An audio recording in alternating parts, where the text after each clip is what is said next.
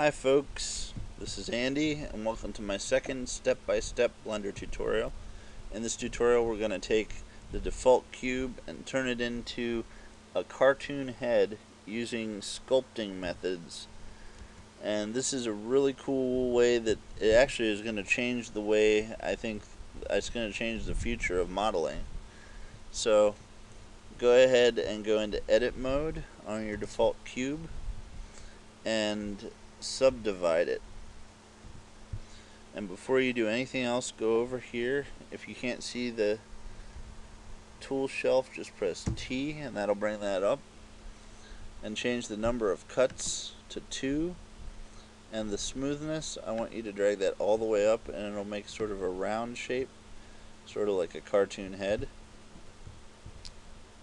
And then we're going to do a couple of extrusions here on the faces. I'm going to extrude the center face and make a kind of a nose area to work with. And I'm going to extrude, um, actually I'm going to make a couple of uh, loop cuts. That's control R. And that'll make a cut the whole way around. Make two loop cuts on the side here and then we'll extrude these two faces inwards to make kind of the uh, eye socket area. And down here I'll do one more loop cut towards the bottom here to make an area to extrude inwards for the mouth area and right below it we'll extrude the chin outwards a little bit. We've already got a face shape here. I'll go ahead and extrude the neck as well.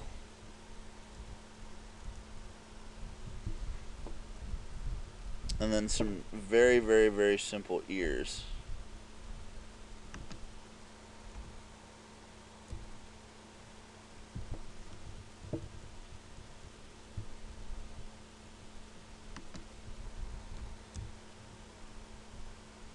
and that's going to be the base mesh that we're going to work with.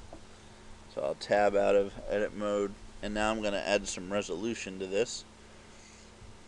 I'm going to take them, well first I'm going to change the shading to smooth and then I'm going to go to the wrench and add a modifier multi-resolution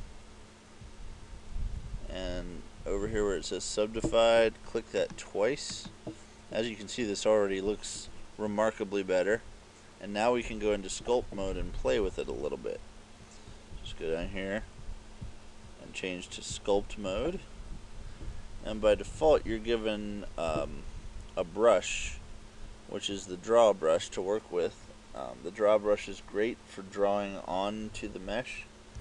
And I'll just try and zoom in here and move down. And I'll show you you can actually draw some lips on your character just by clicking and dragging around the lips the area where the lips would be. And it's it's actually remarkably simple.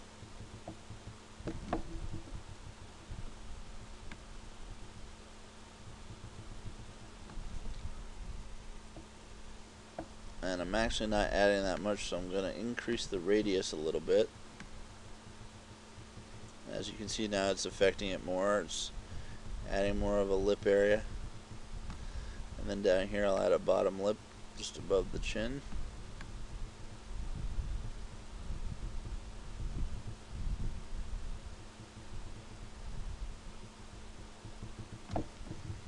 That looks pretty good to me.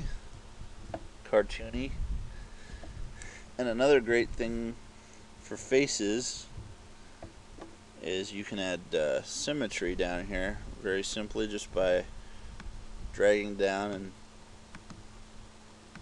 mirroring on the x-axis so that if you make any changes um, and I'll actually change to subtract for this like say you want to make these eye sockets a little bigger now it'll affect both sides of the mesh.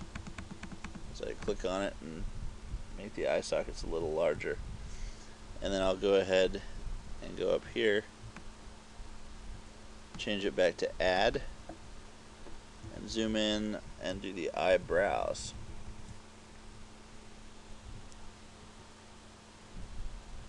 I'll make the radius a little bit lower. You can change the radius with the scroll wheel on your mouse. I just right now I'm using a touchpad on my laptop and it still kind of amazes me how good I can make this look just with playing with the touchpad on my laptop.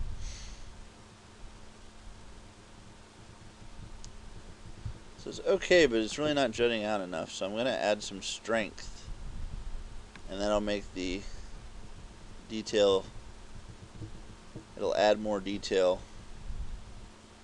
As you can see, I'm getting more of an eyebrow look, but it's still not that good, and I think it's because I don't have enough polygons. And that's why we added this multi-res modifier, because I can subdivide it again, and as you can see, now I've got more polygons to work with, I can, I can do more with the eyebrows. You don't want to subdivide it really too many times, just enough that it looks good to you. And this really looks good. I have these really kind of cartoonish eyebrows.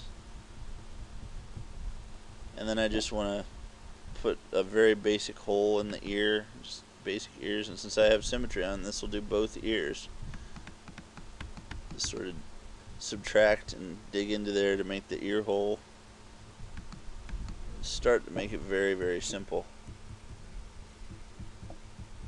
Now there are some other tools in here I'm only going to show you one other one in this tutorial, but uh, if you click here, you see you have a whole bunch of different options. Right now I'm going to show you the F smooth here, and that just sort of smooths out the areas that you were working on so that I can make it look a little less choppy and a little more cartoony. Just smooth down a little bit and really I think I have just about everything I need on this character. Um, the nose might be a little oversized. Um, I could maybe smooth that out a little bit. I'll go back to um, what I was on here was F I was actually on F brush and just click subtract make that radius a little bit smaller. Like I said, you can use the scroll wheel on the mouse. I just don't happen to have a mouse right now.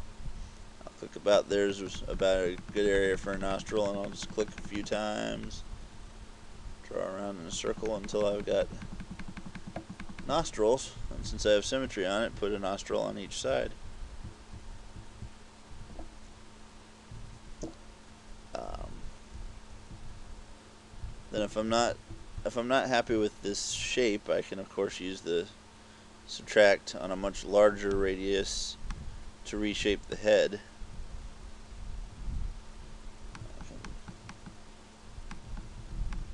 Sort of subtract up here until the head's got like a little bit better of a shape to it. It's a little lumpy, but it's kind of cool. I, I kind of actually like that effect. And you always want to sort of orbit around in in 3D view mode and make sure you like the effect. I actually think I took too much out of the back of the neck there, so I'm going to go back to add and fill that in a little bit. And the great thing is with symmetry on, I don't have to go too far, but I can only worry about the one side and it'll play with both sides. So I've got a bit of a mess over here now in the bottom. It doesn't flow very well. It almost looks like he has hair on the back. Um, so I'm actually I'm going to subtract a little more there.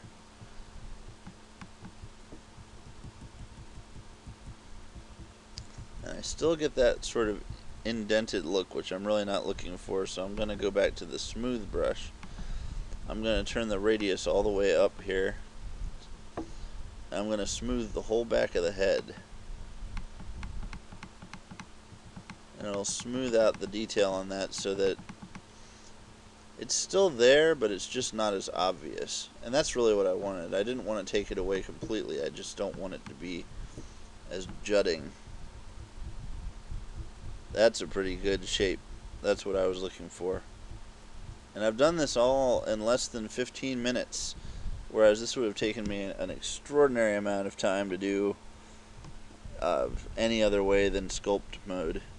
And uh, if I just go back to object mode and I apply this modifier I've got a totally sculpted head that I can now start adding eyes to and you know teeth in the mouth area.